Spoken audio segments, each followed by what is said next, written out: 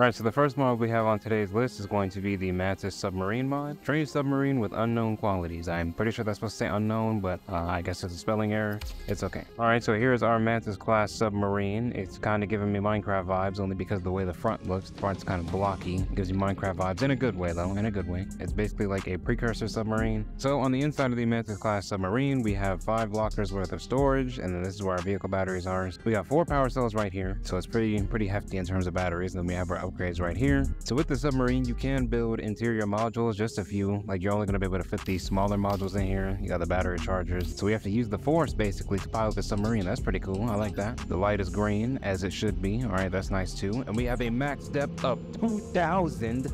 That's that's that's quite a lot. But I guess considering there's no depth module upgrades for this thing, that's probably why. So we've crashed into quite a bit of stuff so far and yet we're still just going strong. This submarine is pretty tanky as well. So it's a tanky submarine. It's also pretty fast. As we can see right now, I am freaking zooming right now. But yeah, that was the Mantis class submarine. It's one strong freaking submarine. It's got a max depth of 2000. It's super fast, extremely durable because we were barely taking damage when we were bumping into stuff. I would assume this thing is pretty good at ramming creatures. You could probably get rid of a whole bunch of creatures, even the Reaper. And with that, we are about to move on to our next mod. All right, so the next mod is submarine submarine we have on this list is going to be the Odyssey submarine. A submarine built for exploration. It is nimble for its size. It fits into small corridors and its floodlights are extremely powerful. I will be the judge of that. Okay, it's coming down in slow motion. I guess that's uh is that one of the features of the submarine? But as we can see, here we have our Odyssey submarine, and it even says Odyssey on the side. That's pretty cool. Super compact, and it's extremely detailed considering,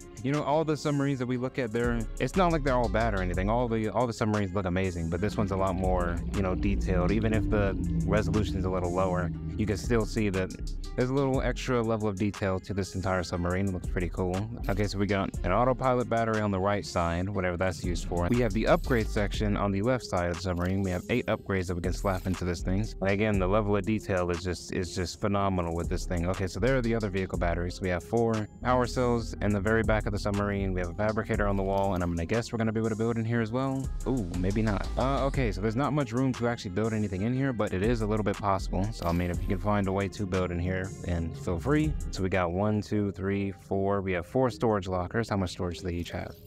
Pretty decent. Okay, that's nice. So we got power, headlights, floodlights, autopilot. Oh, it says to do.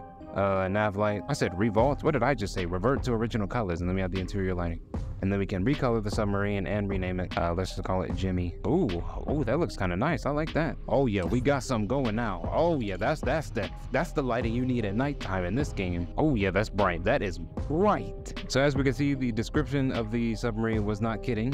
It's got some pretty powerful uh, floodlights and front lights that you can use to, you know, illuminate the area in front of you. So it's an especially useful submarine if you have to explore some areas at nighttime because these lights are pretty strong and they illuminate a lot in front of you so it's not like you know you're not gonna miss anything with these lights on. So that was the odyssey submarine mod. Pretty cool pretty cool. Oh my gosh the lights are still killing me. And with that we can head on to the last mod that we have on our list. The last mod on today's list is going to be the slot extender mod and it's going to do exactly what you would think it would do. So it's going to essentially extend the amount of slots that you can have or the, the amount of slots that you do have on your vehicles. So your Seamoth is included the prawn suit is included upgrades. Oh it is not. Okay, so just the Seamoth and the Prawn Suit are the only two that actually get the slot extension because it does not appear to have any effect on the Cyclops. But as we can see, when we go over to our Prawn Suit and we open the upgrade section, it's to have all these extra modules in there, or extra module space. Alright, so with this mod installed, it actually opens the door for a bunch of new crazy and wacky builds that you could do with your vehicles, with your Prawn Suit and your Seamoth.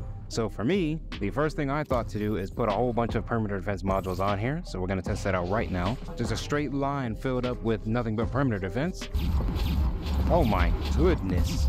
Now imagine, imagine being a Reaper Leviathan getting hit with this many perimeter defenses back to back. No, no, no, no, no, no, stop running away, stop running away. No, no, you know what this is. And hitting them, yep, keep hitting them.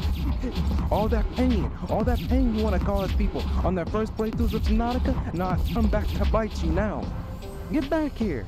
I got out of my vehicle on accident, whoopsie. Not going to be as fun to use for the prawn suit as it would be the other, um, as it would be with the Seamoth, because a lot of the prawn suit upgrades can't even stack. But you know, it was it was worth a shot. Feel free to comment, let me know what your favorite mod is, or let me know some other mods that I should try out in the next video. Other than that, that is what all I had for y'all. Thank y'all for watching. I hope y'all enjoyed, and I will see y'all in the next one. Peace.